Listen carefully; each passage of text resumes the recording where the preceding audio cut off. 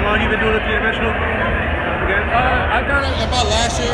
Last year? it last year. And I started with the, uh, It was just something Thing, new. like, yeah. No, I'm always on a journey of trying new shit. Yeah.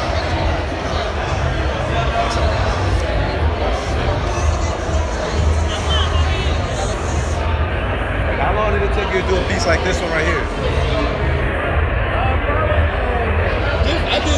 Show, and I did it pretty recent. Uh, probably like maybe like a, over a week I knocked it out. Oh, you did this in a week? Yeah, because initially I wasn't gonna do anything new for the show. And, uh, and at the last minute, I said I'm gonna do a couple new things. So yeah, I, I Okay, did I'm recording you right now. Like, Oh, okay. I'm a blogger, so uh, okay, that's what's up. Don't mind me. Oh no, you're alright. say your name. Uh, Eugene Byrd. Yeah.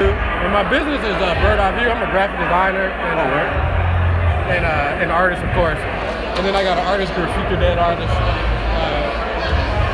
so like she's part of Future Dead Artists, and uh, we create shows, and we're just trying to show the importance of investing in original art. You know what I'm saying? Especially in the black community. Because everybody can buy art, even though you got to be rich. You know. No, you don't. I'm You just can- telling yeah, you like, know? it's not about getting art when you're rich. You got to get it when it's like a hundred, hundred fifty dollars now. Yeah. Because when it's worth like like a million of couple of like it, it, it 15 years an now, investment. That's how that's what I'm to look saying. at it. Like all this stuff, I got price real low because I'm around that sixteen hundred dollar range. That's what I'm saying. But when I And buy I, I did a load for first time collectors and stuff too. 'cause it's important. no, when I buy art, it's an investment.